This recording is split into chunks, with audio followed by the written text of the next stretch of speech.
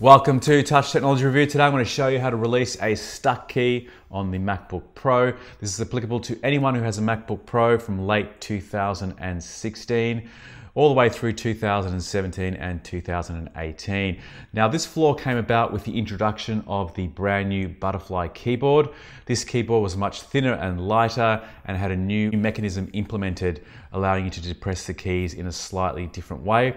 Now apparently there's been some advantages gained for Apple in terms of making their computers thinner and lighter. But the downside of this new mechanism is that if any food particles or dust becomes lodged inside the key, then some keys can start to get stuck or jammed and it's going to severely affect your ability to type fluently. Now, I've heard reports of people going into the Genius Bar being quoted extraordinary figures to fix this very simple problem. So my advice is to first have a go at repairing this yourself. And to do so, all you're going to need is a very simple thing a can of compressed air.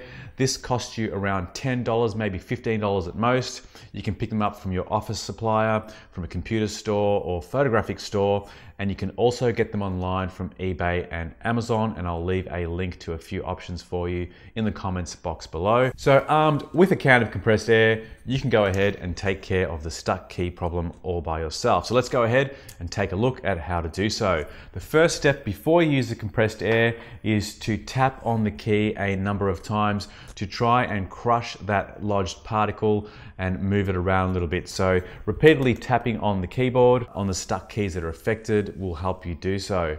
Once you've done this, you can then turn the computer upside down and again give it a gentle tap all around the back to try and dislodge some of those particles. And then you're ready for the can of compressed air. Apple actually have a description of how to do this online. There's an article they've dedicated showing you the pattern in which you need to maneuver the compressed air over the keyboard. So I'm going to leave a link to that in the description box below if you want to have a look at it in more detail.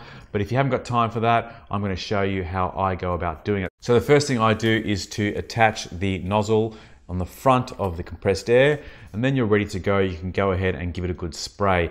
Now you don't spray it in this position where the computer is sitting on your desktop. You actually need to pick it up and put it on an angle. And Apple are quite specific about that angle. They ask you to put it on approximately a 70 degree angle. So if you hold your MacBook Pro up almost vertically and just tilt it back till you get to around the 70 degree point and then spray from left to right over the affected area or over the entire keyboard. And then they ask you to rotate the computer to the right and again, repeat that procedure, spraying from left to right. And then finally, rotate your computer to the left-hand side so that the screen is now to the left of you. And once again, spraying in a zigzag pattern from left to right. So after doing this, you should have a problem-free keyboard. If it hasn't worked the first time, give it one or two more attempts and see if that does the job for you. If you still have no luck, then obviously you're gonna have no resort but to head over to your Apple store to see if they can take care of it for you. Thanks for watching. Hopefully you found this brief tutorial of assistance. If you did, be sure to hit that like button and subscribe to the channel. Don't forget to hit the notification bell next to subscribe. That way you'll be notified of new videos as they're released.